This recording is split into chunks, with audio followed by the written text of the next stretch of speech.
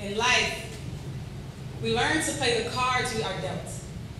But time is an inconsiderate dealer. So I became the queen of this heart.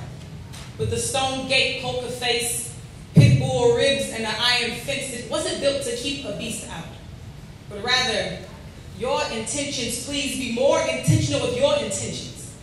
Because I've sat and I've watched far too many pure-hearted, how are you, heartfelt back rubs make a demolition site of me.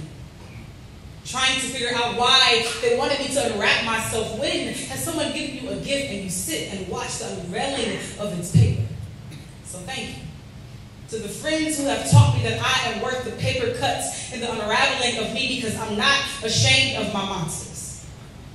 And I don't fear the beast, but rather I fear what you'll do with your words and your hands to me. Transparency has always been giving you daggers and exposing wounds and weaknesses.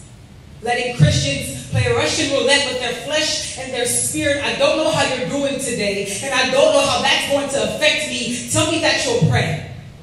But I've never seen you bend a knee in my direction Ask me how I'm doing, but never stick around long enough to see if I'll tell you I'm not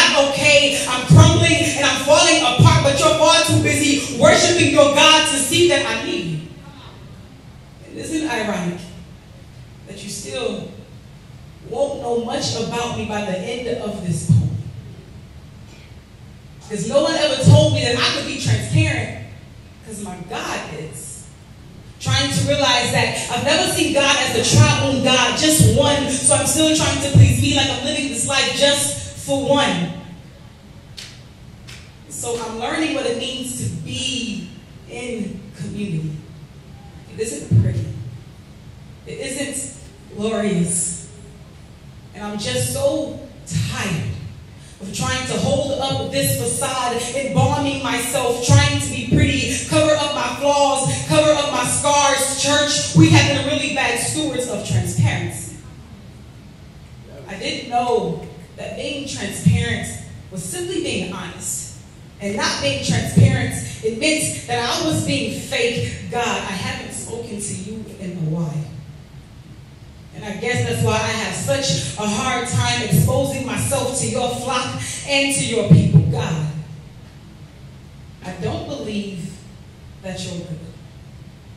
And I know that vacant thrones are rather alluring to self and pride. I have made heist of our relationship and sat on my own throne. Please forgive me for using this microphone as a filter to the truth of who I am. If I'm honest, I'm not approachable.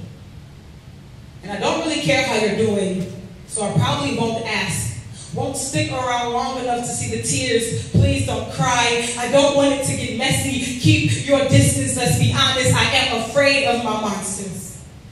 Because I've got some beasts and I've got some secrets for ladies. Transparency. It doesn't rob your mystery. Be transparent, but be wise. Just because they ask doesn't mean you must indulge everything about yourself just because they ask you. But be honest, be truthful, be careful. Because if you ask me how I'm doing, I just might tell you. And I hope that day you're choosing to walk in the spirit and not in the flesh. I don't like being your target practice, practicing your prayers and your words and your emotions. Just be honest with me. How are you? And isn't it ironic? You still don't know much about me.